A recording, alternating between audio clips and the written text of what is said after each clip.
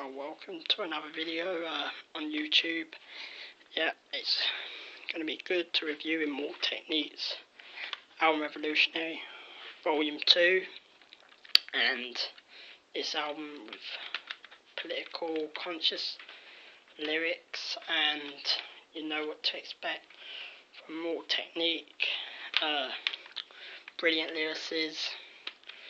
He spits a lot of stuff about the Illuminati, political stuff. There's interviews with him with Alex Jones, you can see, and uh, yeah, so let's go to track listings. You have the intro, and you have Point of No Return, really good song, very dope, and it really sets a good tone. Then you have Peruvian Cocaine, which is about the government shipping cocaine and all that, and the CIA to America in the first place.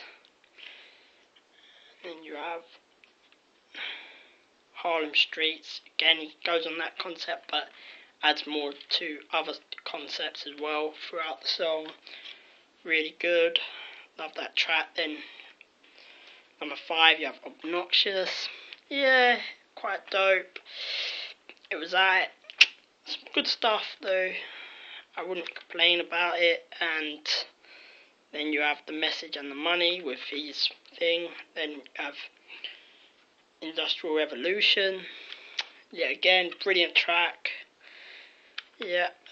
Uh, then you have Crossing the Boundary, which is really, really says some dirty and grimy stuff, but very good metaphorically and it was a dope track overall.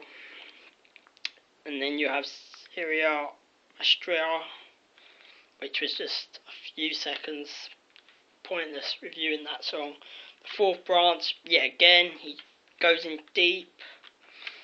Get me, uh, really good.